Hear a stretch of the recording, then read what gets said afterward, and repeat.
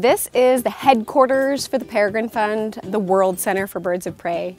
We focus on education here at the World Center for Birds of Prey, but the Peregrine Fund is a global conservation organization that is trying to save species across the world. We started with the peregrine falcon back in 1970 and we successfully were able to take them off the endangered species list by 1999. And now we're working to conserve all raptors around the world. And you get a chance to come up and see some of those raptors that we're working to conserve.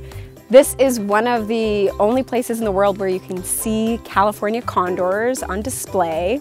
We actually have the largest breeding population of California condors than any other facility. And you can get a chance to even see some of those condors that are breeding in our live camera feed here at the Interpretive Center. We have worked with species like the Mauritius kestrel when there were only four left, four individual birds left um, on the island of Mauritius and we help bring those guys back from the brink of extinction. We work with the harpy eagle in Panama. We work primarily with the people, the Emberá Wounaan people that are in the Darien rainforest in Panama.